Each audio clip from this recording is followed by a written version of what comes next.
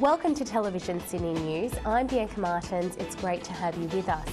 In this week's bulletin, a service to be held to mark 12 months since the Quakers Hill nursing home fire tragedy, calls for Richmond RAAF base to be used by commercial flights, and the men and women of Australia head back to Blacktown.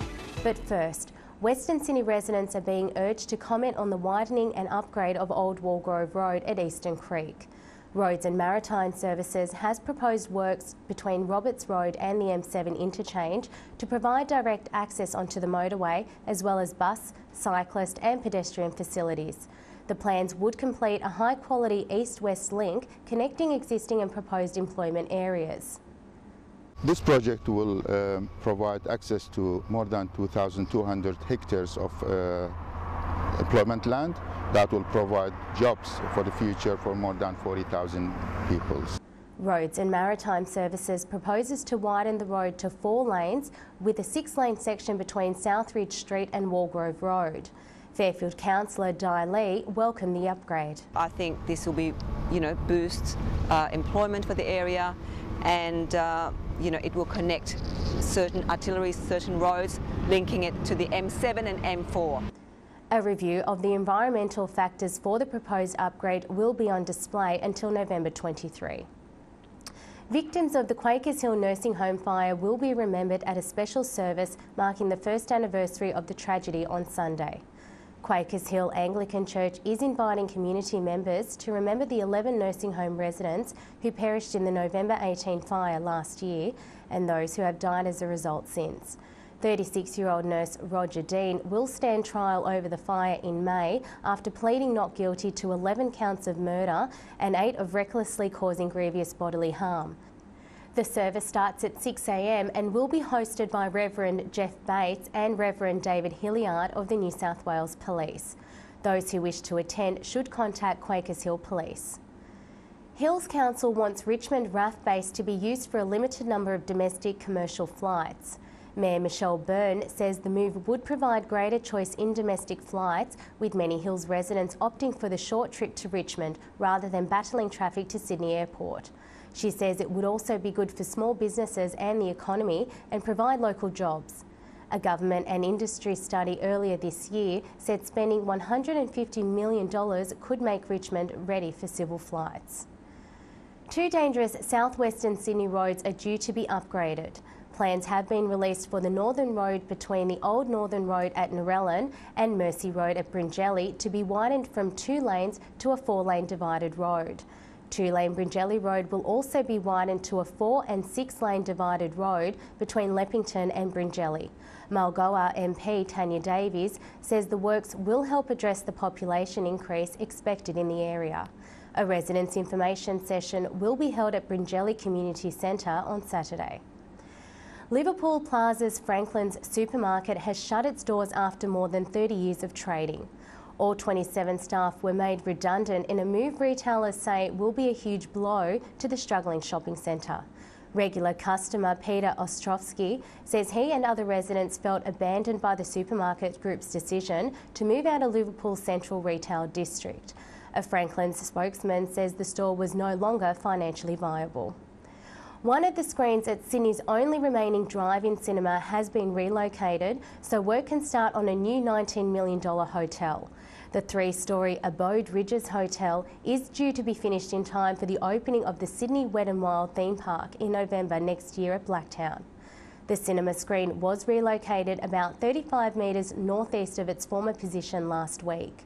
The 124 room hotel is being built by Amalgamated Holdings Limited, which also owns the drive in. St Mary's and Mount Druitt are predicted to be hit hard by the state government's $1.7 billion education cuts. It is likely the area will be without a local education office as part of the cost cutting plans. The Mount Druitt District Public Education Office at Emerton has been earmarked for closure, with 23 school support positions to be abolished. The Kingswood office is also proposed for closure, where 18 jobs will go. The community is invited to join teachers at a community day of action at Tumbalong Park, Darling Harbour on Sunday. Liverpool hospital patients will be the first in the state to benefit from a new machine to help treat cancer. The $3.8 million tomotherapy machine precisely targets tumours without damaging surrounding healthy tissue. The radiation therapy is painless and done within seconds. Alfonso Quiroz is the first patient in New South Wales to receive tomotherapy for the tumours in his vocal cord and says he is very lucky to benefit from it. The machine is only the third available in Australia. Westbus and Metrolink have lost their bid to operate in Fairfield, Cabramatta and Liverpool. New rules introduced by the state government require bus companies to tender for their contracts, and Transport Minister Gladys Berejiklian says the move will save the government more than $18 million a year for at least the next five years. Transit Systems Australia will take over operation of the Fairfield, Cabramatta and Liverpool services next September. The fate of the controversial Orange Grove factory outlet lies with Liverpool councillors after a motion to approve it was deferred last week. The former brand's outlet was shut down in 2004 when its development consent was challenged in court. The new development has the potential to bring more than 400 jobs and 63 retailers into the area. Liverpool Mayor Ned Mannoun says he supports the project. Signs warning parents not to smoke around school gates have been introduced in Penrith. Ryan McClenahan reports. Penrith Council has installed the signs at 21 primary and high schools in a bid to reduce the risk of children breathing secondhand smoke. New South Wales Health funded the signs and selected the schools as part of its World No Tobacco Day program.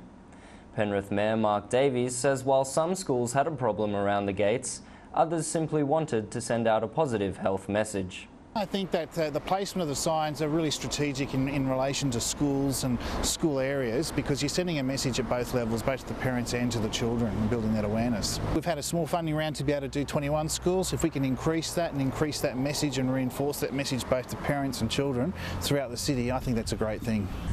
New laws that will come into effect the 1st of January next year will also prohibit smoking in bus stops, taxi stands and public buildings. Ryan McClenahan, TVS News. The winner of the 2012 Sydney Peace Prize spread her message to Cabramatta High School last week. 70-year-old human rights and democracy advocate Senator Sekai Holland from Zimbabwe was the guest speaker at the school's sixth annual Peace Day. Miss Holland was tortured by Mugabe forces in 2008 and urged students and staff to use their heads rather than their fists. Ms Holland is also Zimbabwe's Minister for National Healing, Reconciliation and Integration. And in sport, more than 900 students converged on the Penrith Panthers home ground on Tuesday to try their hand at different sports. Year 5 and 6 students from 11 schools took part in everything from karate to cricket in the annual event at Centrebet Stadium, organised by the Panthers on the Prowl Community Development Foundation. The children were joined by Panthers players on the day, including first grade stars Nigel Plum, Blake Austin, Tim Grant, and Panthers captain Kevin Kingston. They're always happy to see you, high fives all around, and um, just really seeing the smiles on their faces. It uh, rejuvenates me into training as well, so it's great. So you don't mind signing, signing autographs all day because I was in, I was in their position once, and um, I'm sure they're probably just happy to get a day off school. So. The NRL's One Community Ambassador and former player, Trent Barrett, also spoke to the children about the importance of exercise and nutrition as part of the healthy lifestyle. The Western Sydney Wanderers women's team has signed a second Liverpool player. 18-year-old Alex Huynh of Sadleir joins Preston star Catherine Cannuli in the team that made its A-League debut alongside the men this year. Huynh grew up playing for Busby in the Southern District Soccer Football Association and is an Australian under-17 junior representative player. The defender has spent the last two years playing and training with the Newcastle Jets. Students from nine Western Sydney schools joined in a celebration of all things football last week at Football United's Multicultural Festival in Glenwood. The day was an opportunity for migrant and refugee students to show off their skills and play four small side games in a competition gala day.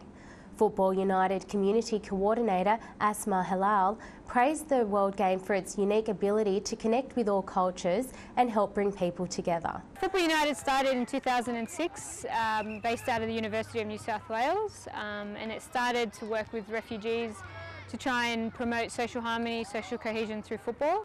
Held at Football New South Wales headquarters, the event also struck a chord with the state body's chief executive, Eddie Moore. Football is the global game, and when you've got uh, kids from across the world that now live in Sydney um, wanting to play football, we want to be able to assist that and, and give them and Football United the opportunity to uh, enjoy the world game. Football United runs coaching clinics at 11 locations across Western Sydney and recently expanded into South Australia and the ACT. November 22 looms as D-Day for the Greater Western Sydney Giants when the 2012 AFL National Draft will get underway. And like last year, the Giants will have first crack at the most prestigious young AFL potential in Australia. Last year, the Giants had the top five picks, and this year, the Giants have landed the first three picks. The team's success will hinge on who it can attract to Western Sydney. A champion muscle man is bound for the bright lights of Las Vegas. Natural bodybuilder Sung Seng Lei will flex his considerable muscles in the World Muscle Mania Natural Bodybuilding Competition on Sunday. The 34 year old from Mount Annan won the under 70 kilogram title in the Australian Natural Bodybuilding Competition, and Lei says Muscle Mania could give him a professional card. And finally, Blacktown was the backdrop for an historic celebration on Tuesday, marking four decades since Gough Whitlam's seminal It's Time campaign launch. 40 years to the night since Mr Whitlam strode onto the stage at Blacktown Civic Centre, some of the people who made history and those who wanted to be a part of it travelled to Bowman Hall as part of the Whitlam Institute's Back to Blacktown celebrations. Whitlam Institute Director Eric Sidoti says the original speech was the culmination of 20 years in opposition and set out in unprecedented details plans that laid the bedrock of today's Australia society. The hall was hot and packed. Um, we've got photos of people literally hanging through the windows. You couldn't fit in there. They're out in the corridors, they're out in the, on the verandas, uh, all sort of hungering to be part of the night. And of course, there are a couple of hecklers there as well. Among those who came back to Blacktown were former Prime Minister Bob Hawke and wife Blanche, Mr Whitlam's speechwriter Graham Freudenberg and Nick Whitlam. And that's all for this week's bulletin. For more information on any of these stories, pick up your local Fairfax community newspaper. I'm Bianca Martins. We'll see you next time.